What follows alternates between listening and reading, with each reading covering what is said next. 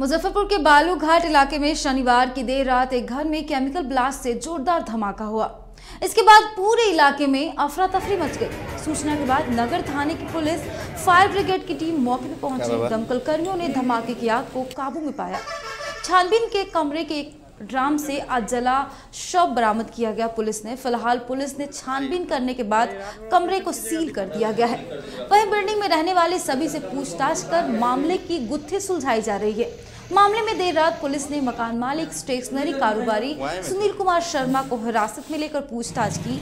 अभी तक शव की पहचान नहीं हो सकी है। वही धमाका इतना जोरदार था कि पूरा बिल्डिंग हिल गया और इसकी गूंज दूर तक सुनाई पड़ी। लोग घर से भागकर बाहर निकले तो देखा कि फ्लैट में आग लगी थी।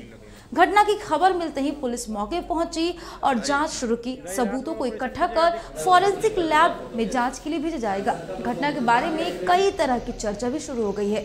कई लोग इसे हादसा बता रहे हैं तो वहीं कई लोग इसके पीछे किसी आपराधिक साजिश की आशंका ज़ाहिर कर रहे हैं। हालाँकि पुलिस जाँच के बाद ही नतीजे तक पहुँचने की बात कह रही है।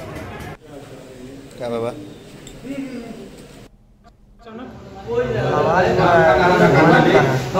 थोड़ा सा गैस आवाज़ किया है दौड़े उड़े नहीं देखे हो कि नहीं आप लोग? हाँ हम लोग बाहर निकल गए। आवाज़ सुन के भागे बाहर पल्ला उल्ला किए हैं हाँ। हालाँकि तो लोग शायद देखा बहुत तेज आवाज़ हुआ है तेज आवाज़ अच्छा कौन लोग रहता था? ऊपर कौन लोग आता जाता हम लोग न्यू रेंटर किसका आवाज़ है? किसका है घर है ये? आवाज़ किसका है? दिलीप दिलीप नाम। कि सुनील? दिलीप हम जानते हैं आप लोग कितने साल के हैं? वन मंथ से।